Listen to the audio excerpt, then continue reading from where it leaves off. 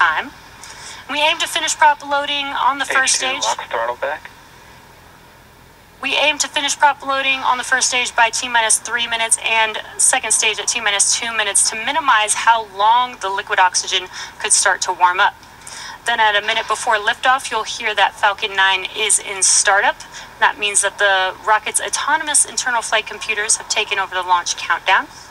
And just inside T minus two seconds, the Merlin 1D engines will light up, and then we're set for T0.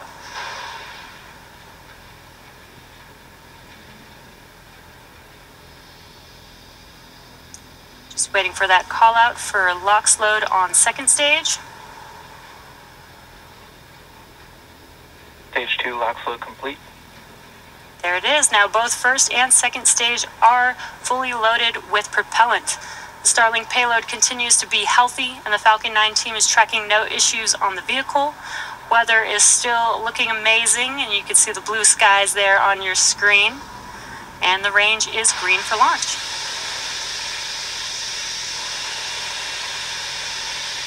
Now, as I mentioned, you can see the white clouds coming from the transporter erector again. That is the liquid oxygen that we are venting out, clearing those lines on the transporter erector.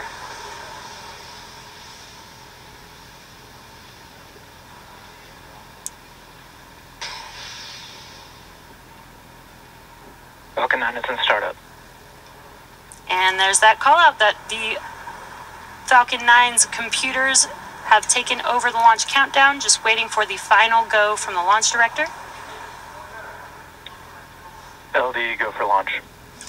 And all systems are now go for launch. So let's listen into the terminal count and watch as Falcon 9 takes our 46 Starlink satellites to space.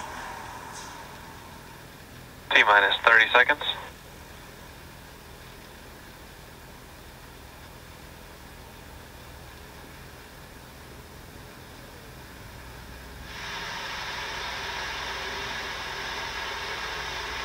T minus 15. Minus 10, 9, 8, 7, 6, 5, 4, 3, 2, 1. Engines full power. Lift off. Starlink 48.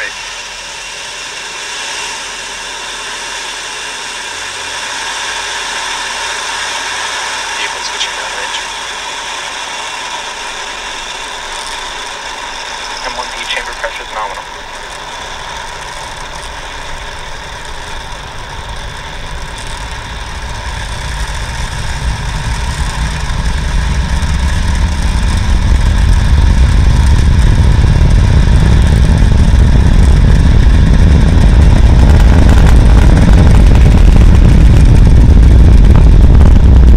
Falcon 9 has successfully lifted off from Space Launch Complex 40 at Cape Canaveral Space Force Station, Power telemetry nominal. carrying our stack of 46 Starlink satellites to low Earth orbit. Now, moments ago, we throttled down the engines, reducing the speed by decreasing the flow of fuel to the engine. That's in preparation for max Q, or maximum aerodynamic Vehicle pressure. supersonic. And we are coming up on max Q in a few seconds here. Max Q.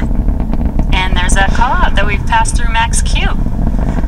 Now we do have four events coming up in quick succession. The first will be main engine cutoff or MECO, stage separation, second engine start one or SES one, and then fairing deploy. So main engine cutoff is where all nine of the M1D engines shut down to slow the vehicle uh, down in preparation for the next event, which is stage separation and that is where the first stage separates from the second stage.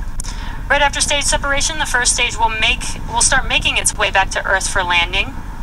And while we are able to land the first stage, while we are able to land the first stage both on land and at sea on our drone ship, today we will attempt to recover the first stage uh, on today's mission on our drone ship, a shortfall of gravitas.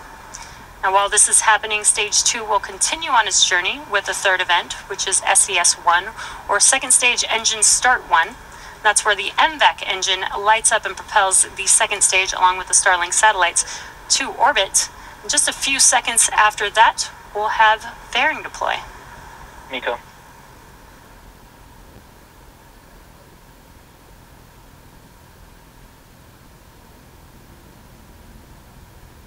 Stage separation confirmed.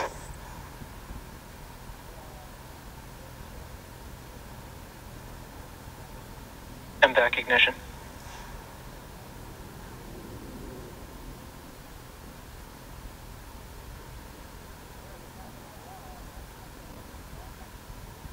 Fairing separation confirmed. And great views on your screen. We just saw MECO stage separation, SES 1 and fairing deploy. On your left hand screen is the first stage, right hand screen is a view of the MVAC engine. And those visual confirmations mean that we have successfully uh, deployed our fairing halves. SpaceX has reflown Falcon fairing halves since 2019, and the fairing halves flying on today's mission are flying for the third time.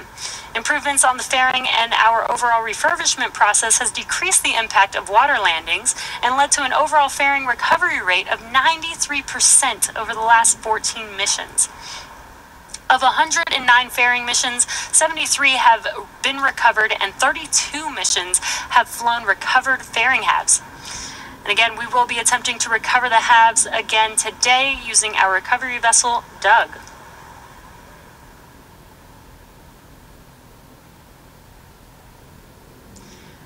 Some great views here as stage two heads towards its targeted drop off orbit. Stage one will complete two burns in order to make way to The first is the entry burn, where three of those nine M1D engines will reignite. That helps to slow the stage down as it re enters back into the upper parts of the Earth's atmosphere. Acquisition signal, Bermuda. Then the second burn for the first stage is the landing burn. This is a single engine burn, on the Center E9 engine, and brings the vehicle speed down rapidly in order to land on the drone ship. Stage two is still looking good on a nominal trajectory. On your left hand screen, you can see those grid fins on the first stage, helping to guide the vehicle back to its landing zone. Now, if you're just now joining us, we've had a successful liftoff of Falcon 9 from Cape Canaveral Space Force Station, Slick 40 today. Right now, you're looking at a live view of Falcon 9's second stage on the right hand screen. And that was just a call out for a nominal trajectory on second stage. Stage 1 is currently making its way back to our drone ship, a short fall of gravitas. And today is the 38th launch of Starlink satellites overall, the seventh mission of 2022, fourth Starlink mission of 2022, and the 145th total overall SpaceX launch. We're just about a minute away from the entry burn start on the stage. And the Merlin engines on the first stage are optimized for sea level. These achieve 190,000 pounds of thrust during ascent. That's when we lift off or fly um, towards space. And descent, and that's when we come back down to Earth. Now, the MVAC engine is optimized for 220,500 pounds of thrust in vacuum, and that's what you're seeing on your right hand screen.